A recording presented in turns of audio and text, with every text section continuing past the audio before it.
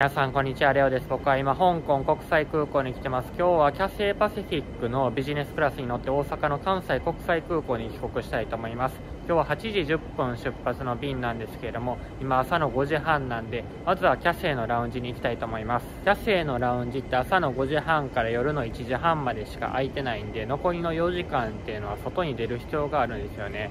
なので僕はさっきまでここの床で寝てました。ここはラウンジのフロアになってるんで結構人が少ないんですよね。ちなみにここはアメックスのセンチュリオンラウンジになっててアメックスプラチナかセンチュリオンカードを持ってる人が入れるラウンジになってます。アメックスのロゴがあってめちゃくちゃかっこいいですね。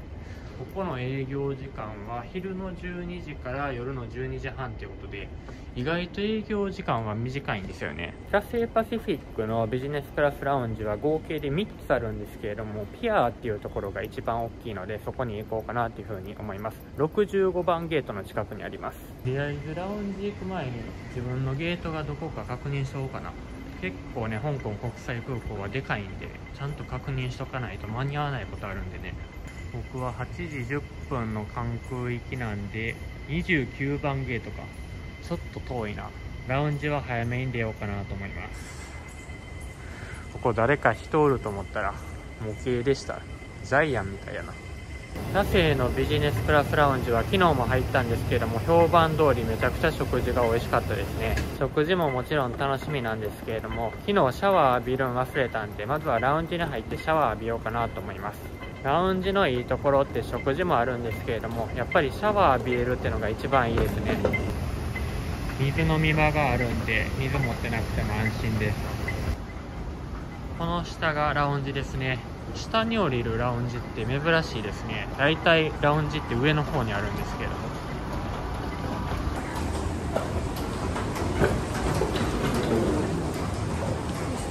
はい今シャワールームに入りました。どうですか？めちゃくちゃ豪華ですね。まず鏡もでかいしライトはおしゃれなやつ2つありますね。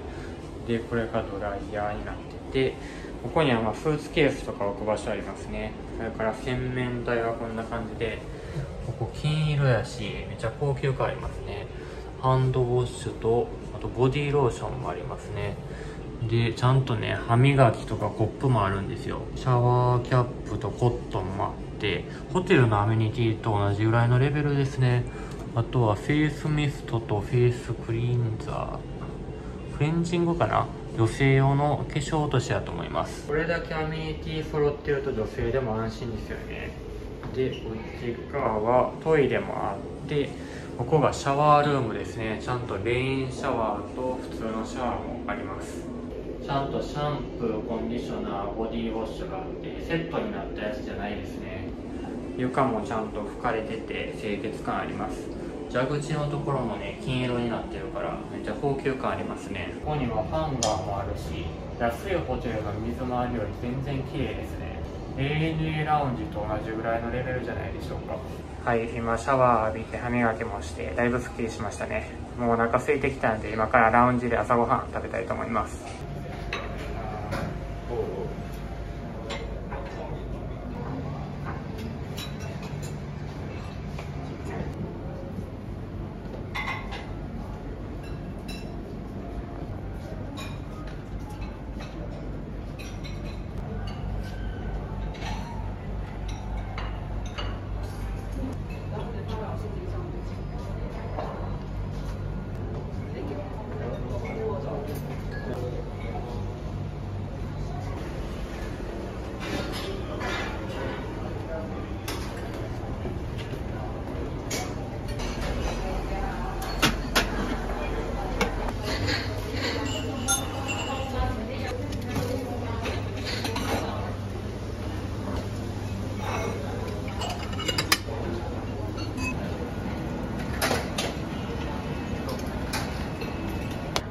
朝ごはんはスクランブルエッグとベーコンと生ハム2枚それからチキンシューマイとワンタン麺取ってきました。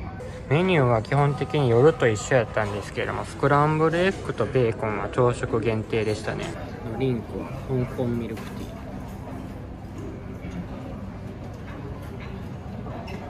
ー。普通の紅茶よりちょっと甘いかな。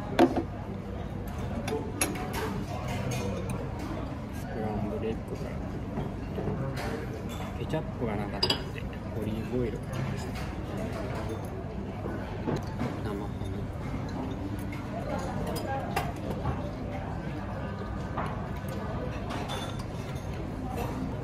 オリーブオイルって何にかけても美味しいですねベーコンはめちゃくちゃ長い次はチキンシューマイバラとかも結構中国っぽい感じで高級感ありますね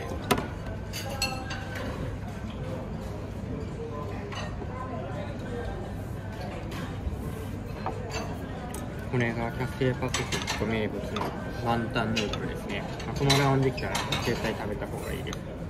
昨日の夜も食べたんですけど、はい、めちゃくちゃ美味しいです。まずねスープがすごい優しい味なんですよね。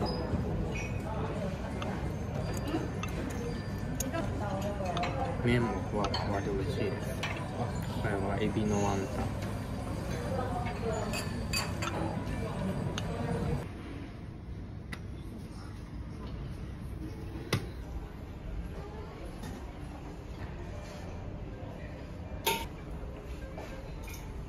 あとはバナナチョコレートケーキとエッグタルトとお茶を取ってきました。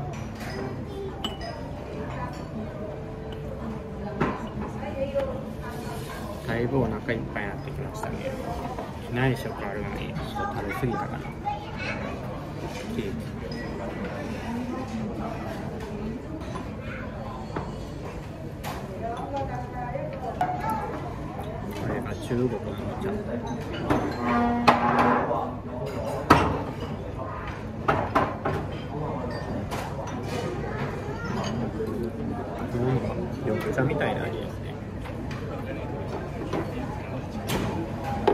50分ぐらいで搭乗開始なんでまた急いでいきたいと思いますこれ、ね、搭乗開始時刻に搭乗口に行ったことがほとんどないんですよ。ねいつもなんか遅れちゃってて、まあ、結局、ね、搭乗開始時刻も遅れることがほとんどなんで問題ないんですけど、まあ、今日は早めに行こうと思いますラウンジの外出てきました僕のゲートは29番なんでだいぶ先ですね。201から530ってすごい大きさですね。めちゃくちゃゲートの数あります。ここからいっぱい飛行機見えますね。まあ香港といえばキャシーパシフィックとあと香港エクスプレスですよね。奥の方には香港航空も止まってます。やばい。もう7時半や。今日も遅れちゃいましたね。だいたいゲートオープンするのって出発の40分前とかなんですけれども出発の10分前には絶対ゲートのところに行かないといけないです。日本の国内線やったら5分前とかでも行けるんですけれどもさすがに国際線で5分前はやばいですね。15分前ぐらいには行っといた方がいいと思います。36番と35番ゲートがあるんですけれども両方キャセイパシフィックの東京成田行きですね。8時10分発と9時5分発ということで飛ばしすぎですね。なんか水槽みたいになってますね。ゲームになってるんや。はい。あタイの映像ですね。ロボット出てきた。34番も成田行きこれは ANA ですね。結構香港から日本はいろいろ出てるんですね。関空行きも確かキャセイ1日4本飛ばしてたと思います。10分遅れでゲート到着しました。もうビジネスクラスの人は全員入っちゃってましたね。香港の空港はすごいね。顔の自動化認証ゲートがあってパスポートとかボーディングパスとか何もなしでカメラ見るだけで入れました。ビジネスは左側です。めっちゃ前の方から入りますね。今回僕の座席は20の A なんで、まあ、ビジネスの中では後ろの方かな。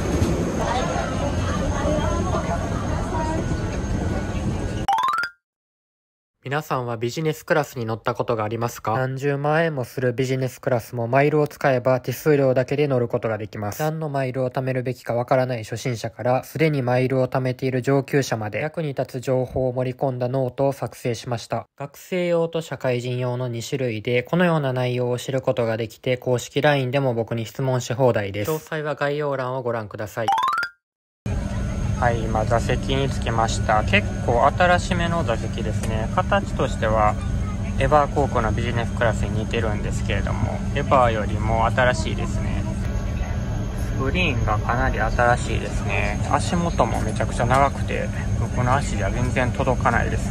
今回僕の座席は20の A ということで左側の窓側なんですけれどもエコノミーの2個前の席ですね。なのでビジネスクラスとしてはかなり後ろの方の席になります。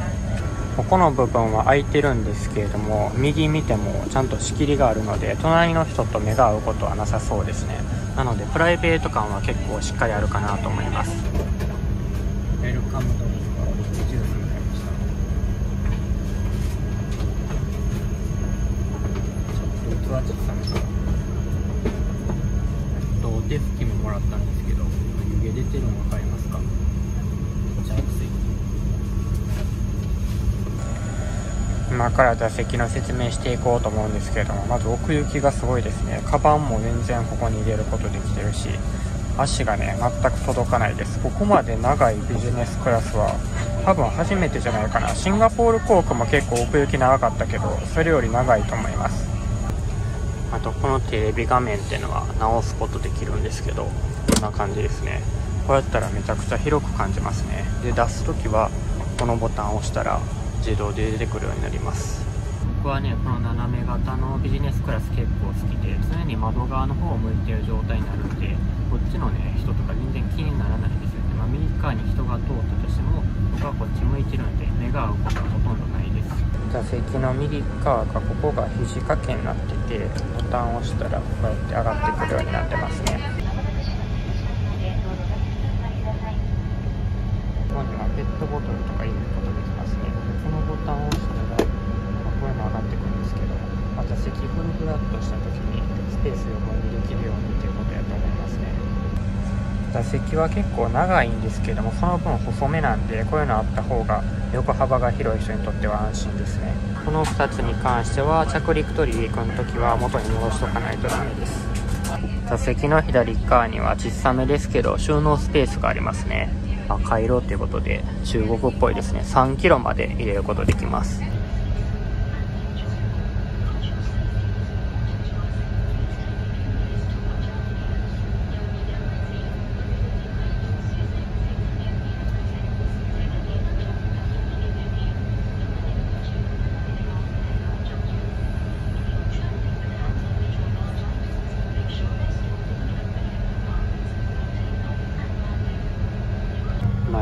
動き出しました。ほとんどキャセイパシフィックですね。座席の左側は結構広いスペースになってて、まあ、離陸と着陸の時以外はいろいろ物を置くことできますね。あとここにメニュー表もあります。それからテーブルに関しては横から引き出すタイプですね。こんな感じで。結構高級感のあるテーブルですね。大きさは割と小さめやと思います。それからこれがモニター画面のリモコンで結構大きいし新しいですね。でこれが読書灯になってて回すことで明るさ変えることできますね。こういうタイプ珍しいですね。であとこれがリクライニングのボタンでこれね押すんじゃなくて動かしたい方向に押すんですよ。そしたら足上がってきますね。この辺はまた後で紹介したいと思います。でここにも収納スペースがあってこれ開けたら真っ赤なんですよね。すごい中国っぽいですね。ここにパスポートとか入れれるしあと鏡になっててヘッドホンもありますね。普通の国際用コンセントと USB ポートもあります。最初コンセントの位置わからなかったんで CA さんに聞いたんですけど、まあ、この中にあるってことでにつきにくいですね。充電も離着陸の時はこれ絶対閉めとかないといけないんで空の上でしか充電できないっていうことで、まあ、これはちょっとだけ不便ですね。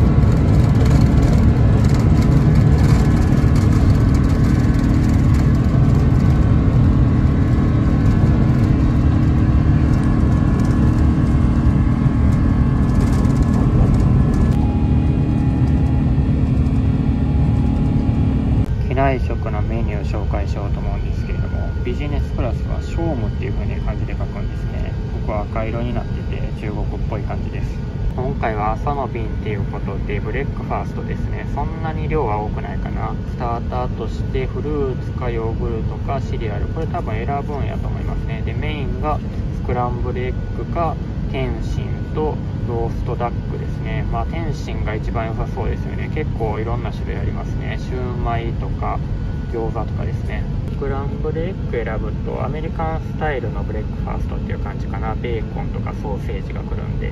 このローストダックはヌードルって書いてるんで麺類ですね。さすがに麺はお腹いっぱいやから食べられへんかな。で最後はボーンペーストリーってことで蜂蜜とバターやからまあ多分パンみたいな感じじゃないかな。これがドリンクのメニューですね。ドリンクのページは1ページしかなくってお酒が載ってないんですよね。朝の便やからお酒はもしかしたらないかもしれないです。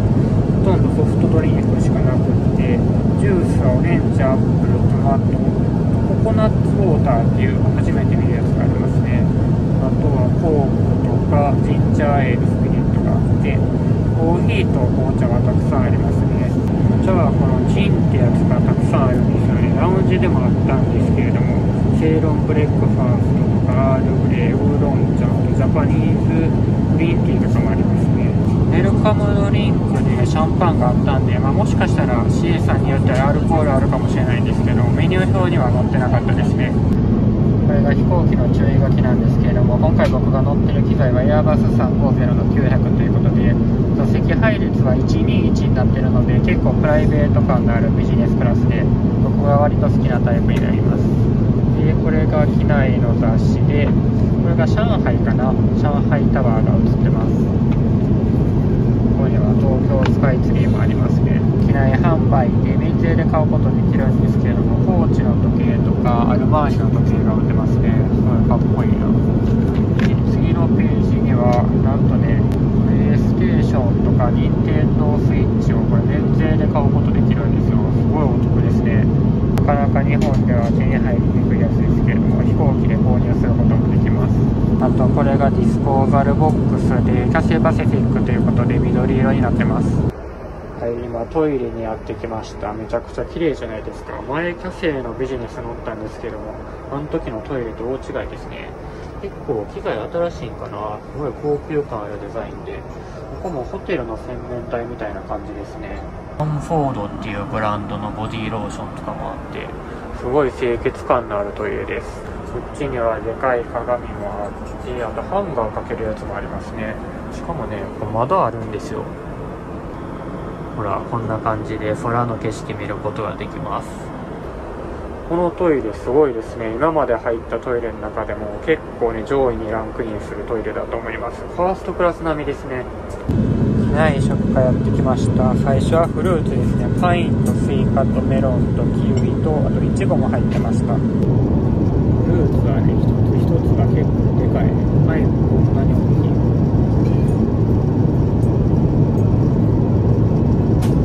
パインめっちゃ甘いですねメロンが結構大きい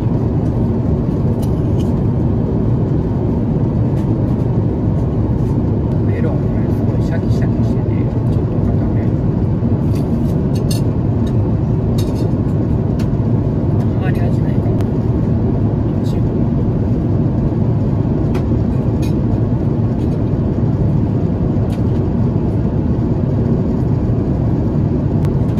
最後はスイカ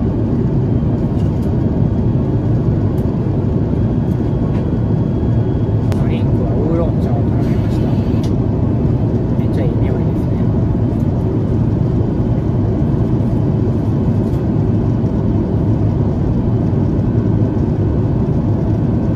ちょっとね普通のウーロン茶とは違うんですけどめっちゃ美味しい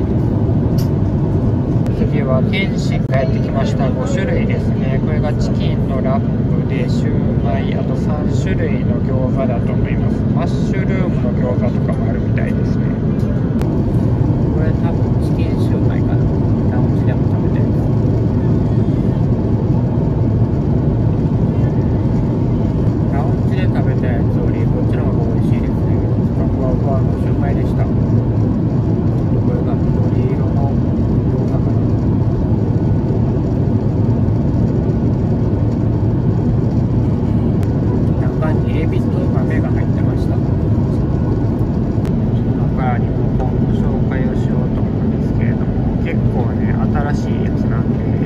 Sorry, so it's.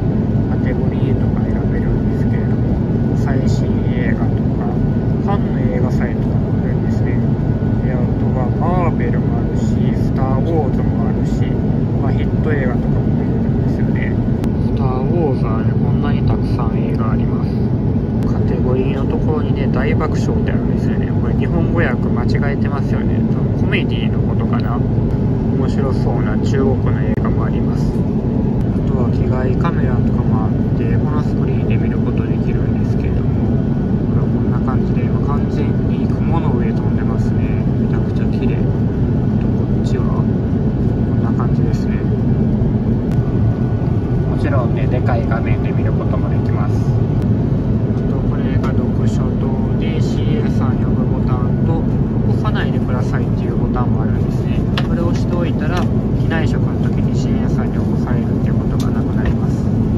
じゃあ今からリクライニング倒していこうと思うんですけれどもまずこの部分を上げてあげると足の部分がねゆっくり上がっていくようになってます。こんな感じですね、まあ、結構スピードは遅めかな。あとこれを前に押すことによって席が前進するしこれ倒すことによって背もたれの部分が倒れるようになってます、まあ、これで微調整できるんですけれどもここのボタンを押せば一発でフルフラットにすることができますね。フルフラットにするとこんな感じですね。足も結構余裕あるし。上見るとこんな感じで割と個室感がありますね。右見ても、ね、点目は合わないです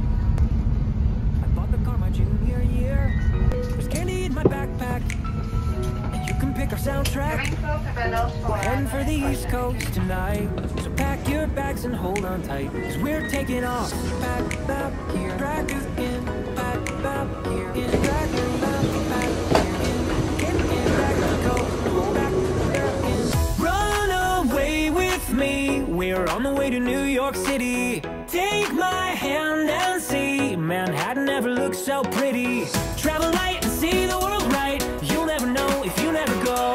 So run away with me and say hello to New York City.